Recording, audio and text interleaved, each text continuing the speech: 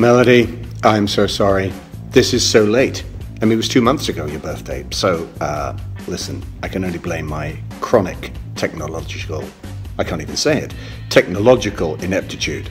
Um, but greetings to BC. I'm going to be there in a couple of weeks at a convention in Victoria. Um, so if you're around, please come and say hello.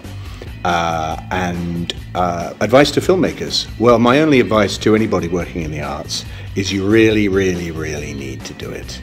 You really need to want to do it. Um, so stick to your stick to your vision, and don't be deflected by others. Uh, once again, apologies for taking so long, and I hope this reaches you in good health. And I wish you all the very best. All right, lots of love. Bye bye.